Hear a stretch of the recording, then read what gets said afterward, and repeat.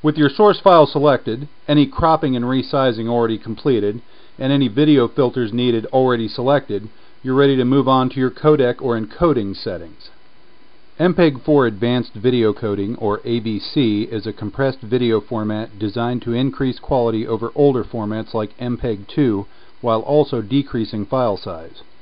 You may also see it referred to as simply MPEG-4 video, although this isn't recommended since there is another older MPEG-4 video format which is very different. To avoid confusion, I'll actually be referring to it by the name that Handbrake does, which is H.264.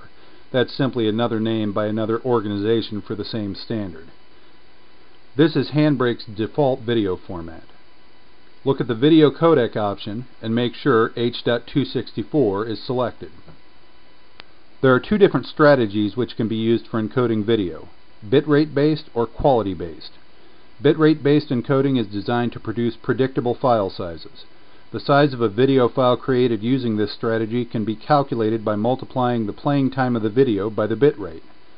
Quality-based encoding, on the other hand, attempts to maintain identical quality for every frame using whatever bitrate is necessary. Neither strategy is inherently better than the other. It depends on your needs for a particular encoding job. If you want to produce a file of a specific size, like exactly 700 megabytes for a CD or exactly 2 gigabytes for a flash drive, bitrate based encoding is the way to go. If your goal is to ensure consistent quality throughout your video and size isn't a consideration, quality-based encoding makes more sense most of the time. Handbrake offers two options for bitrate-based encoding. Target size, and average bitrate.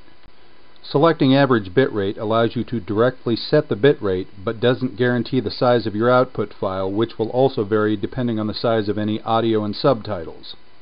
Selecting target size allows you to specify what size the final output file will be but will lower or raise the bitrate of your video depending on the size of the audio and subtitle streams included.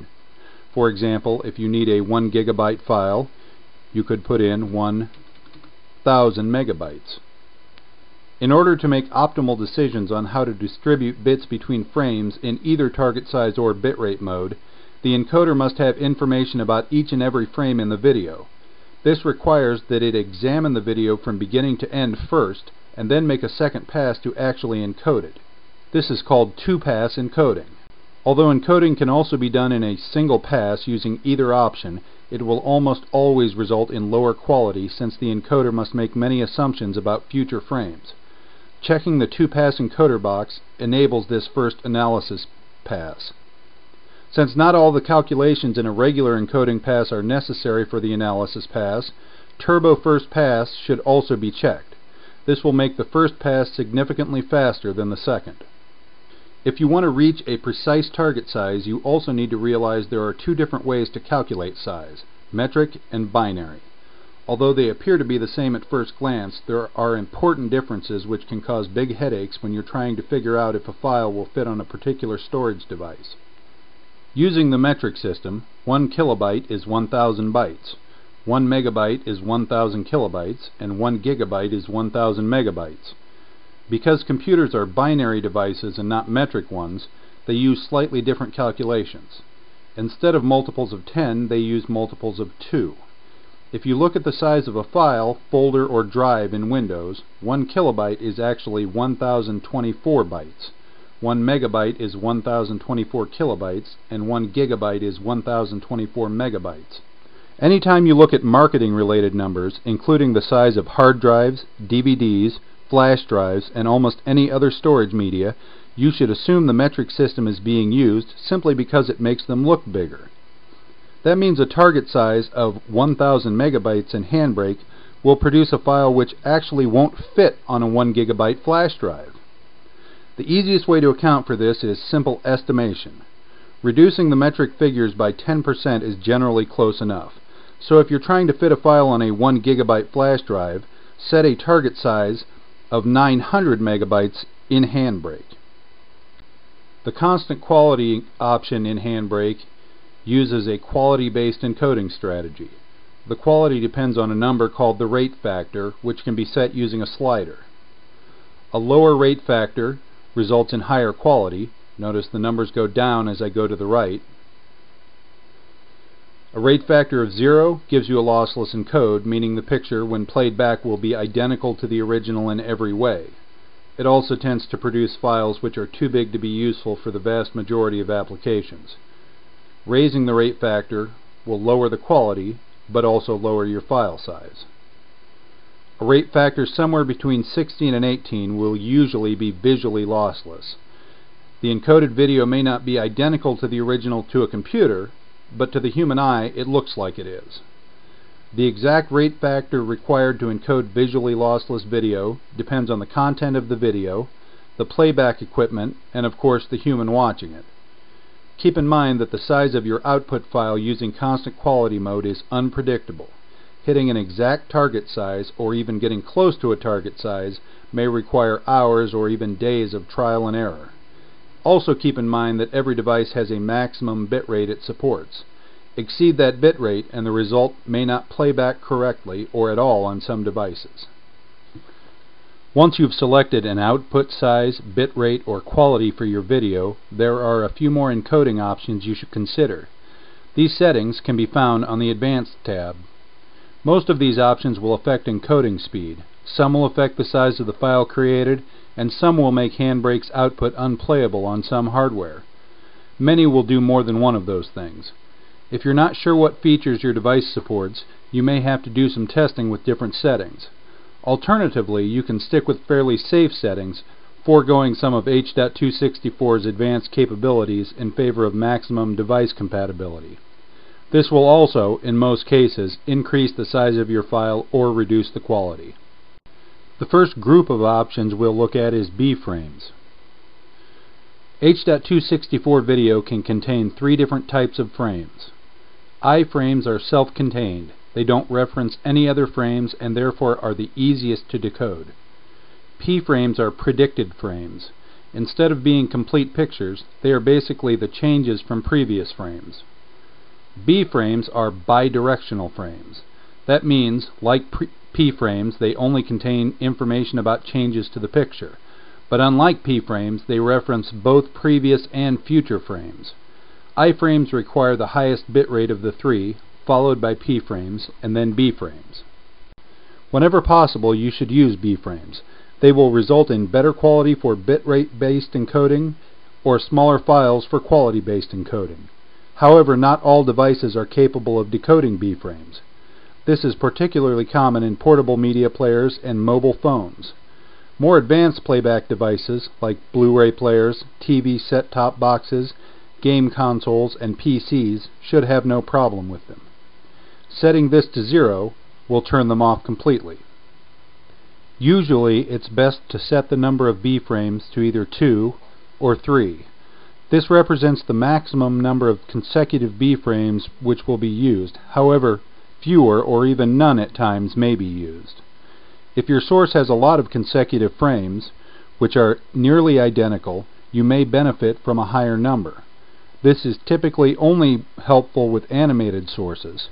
Just like a particular player may have problems with B-frames in general, there also may be a limit to how many are supported in a row.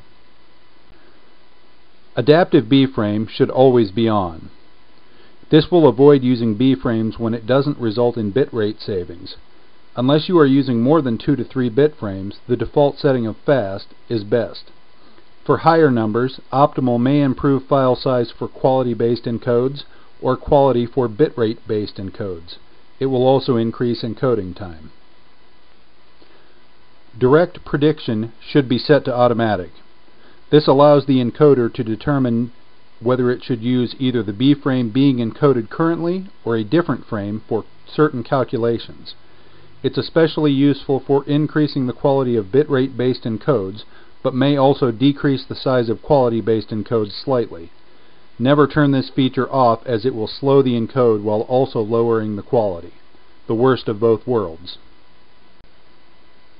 Checking the weighted B-frames box may lower the bitrate of fades from one scene to another in the video, but will also cause problems playing back on certain devices.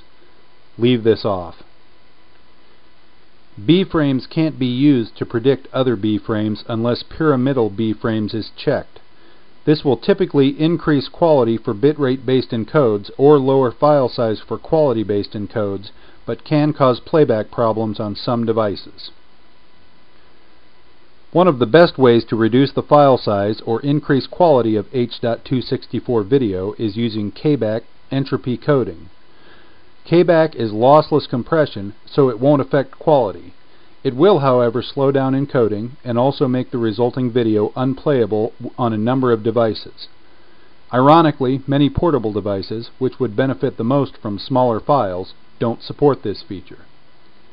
For most encoding, it's a good idea to leave it on. If you are encoding for a mobile device or with a slower computer, you may want to turn it off. If you are using CABAC, you should also set trellis to 1, which is also its default value. This will give you a little bit more bitrate savings on top of what you get from CABAC already. Setting it to 2 may result in a slight bitrate savings, but will slow down encoding. Generally 1 is a better setting.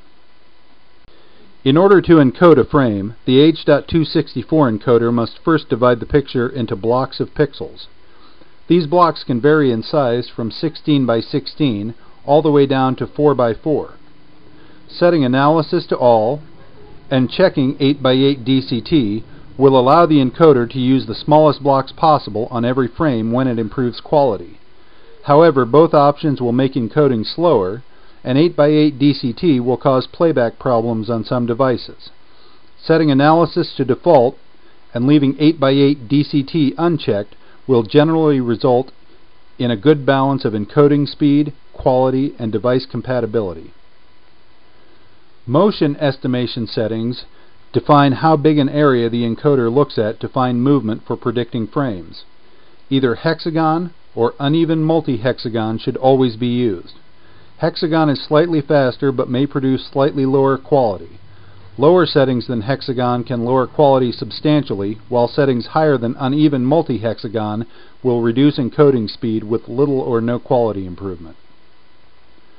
Subpixel motion estimation should be set to either 6 or 7. It allows motion estimation to calculate movement across a distance less than 1 pixel. A setting of less than 6 is required to enable psychovisual enhancements, while settings higher than 7 are likely to slow down encoding too much for a negligible improvement in quality. Psychovisual rate distortion should be set at maximum, with the slider all the way to the right. This ensures quality decisions will be made based on human vision modeling rather than simple mathematical similarity. Psychovisual trellis is experimental, on the other hand, and best left off by leaving the slider all the way to the left. Like Handbrake's built-in deblocking filter, H.264's deblocking is for hiding artifacts so you don't see the edges of pixel blocks used for encoding. Unlike that filter, it doesn't actually alter the video in any way. Instead, it will perform the necessary calculations and let your playback device use or ignore them as it sees fit. The settings used are beyond the scope of this guide. My advice is simply not to change them if you don't know what you're doing. Check No Fast P-Skip if you're having problems with solid colored areas exhibiting blocking artifacts. Otherwise, leave it off since it slows down encoding. Typically, these solid colored areas will be things like the sky, or a road, or a solid colored wall. No DCT decimate should usually be left unchecked. In fact, almost always. Checking it prevents the encoder from saving space on blocks it doesn't think you'll see, while also increasing encode times. It will produce larger files for quality-based encodes, and most of the time lower quality for bitrate-based encodes.